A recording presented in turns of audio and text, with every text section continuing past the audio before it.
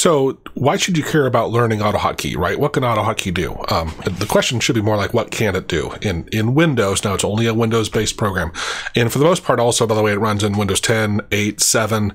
Uh, I still have an XP machine; I can fire it up and run stuff on that, so it can automate a lot of um, different versions of Windows and so many things in Windows. I've put together a list here to talk through real quickly. Um, it does even more, right? It, it's just I consider it the Swiss Army of uh, Swiss Army knife for Windows.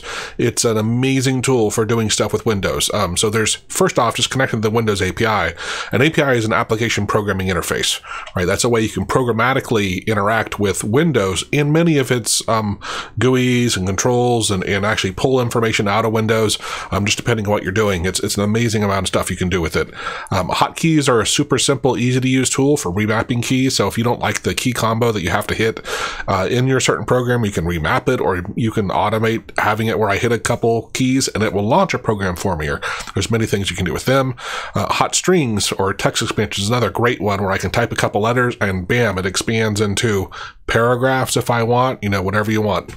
Um, file and folder manipulation. So there is a ton of stuff that you can do. Um, even one is just editing files like text files and stuff, or creating your own files, but also moving files around and backing them up for you, automatically copying things, writing little programs to um, to do these things for you can save an awful lot of time. Uh, accessing the clipboard, there's a lot of stuff. Now, I, there's more advanced ways to do this, but often you can just send to copy um, whatever is highlighted, do stuff to it, and then send it into a different program, right? So you can copy it into the clipboard. It's an easy way to pull it in if you can't programmatically interact with it, and then manipulate however you want the stuff in the clipboard, and then push it back out to whatever other program you want it to do. Um, you can connect to a lot of Windows-based programs using COM. That's this Microsoft's component object model. Uh, so things like Excel and Outlook and PowerPoint and um, um, Word, you can automate programmatically. It's very similar to using VBA, and the code is actually very similar to it. But you can programmatically do your automation in it, and uh, it's one of my favorite things to do because in, in, in corporate world, right, there were so many things that used um, Microsoft's Office programs, and you can automate a ton of that stuff. Um, you can also connect to controls like uh, like a radio checkbox, you know, those kind of things. You can automate that, or just GUIs, and you can automate clicking those things or getting checking if they are clicked or not clicked, setting their values, setting sending text to an edit field. You can automate a lot of that stuff. There's these things called um, the post and send messages. Um, a lot of programs see programs were you know have all been developed by different people over you know 30 years and they have different interfaces. AutoHotkey connects to the vast majority of them. They go through them differently, right? So you have to learn the different approaches, but it can programmatically do it instead of just sending mouse clicks and um, keystrokes, which if all else fails, you can default to that one. Um, so th- there's that. The the um, automating menu. So older ones like Notepad have that menu at the top, right? That's um, kind of like this, but these are a little different. This is a different ribbon.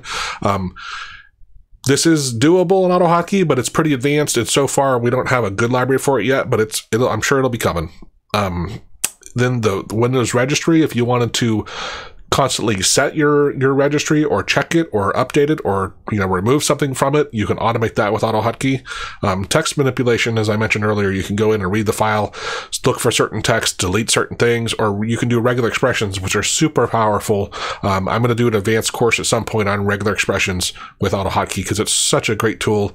Um, i have a lot of the stuff on my site for free by the way. If you go to the automator um, the-automator.com um, you can see uh, examples of especially the the regex stuff. I got a full page on that.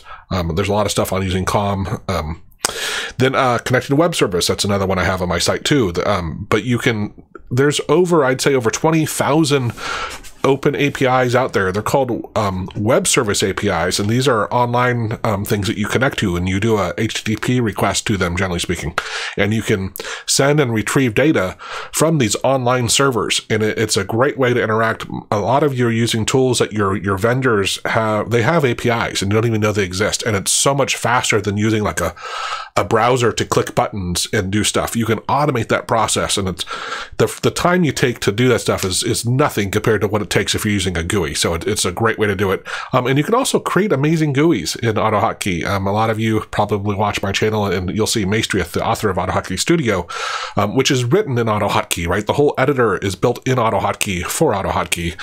and it's what we'll be using in this course. But it um, AutoHotkey can create some really good, powerful GUIs, and it's pretty simple to create them compared to other languages. So I hope that gets you interested and excited. I get really excited when I start doing this stuff, and this is why I'm creating these courses. As I love teaching people how to automate stuff, and I just want you guys to to soak it up and automate your worlds away. All right, cheers.